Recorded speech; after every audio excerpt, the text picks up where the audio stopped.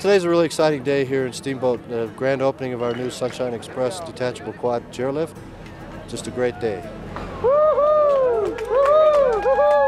As part of our ongoing commitment uh, for the environment, we've made the arrangement for equivalent amount of electricity generated by both wind and solar to be added to the grid.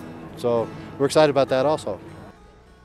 Well, this is this is arguably one of the finest family skiing areas in Colorado, and it's just got the perfect mix of terrain, uh, of exposure, of snow quality, and now just the right lift to make this a wonderful experience for any skiing family.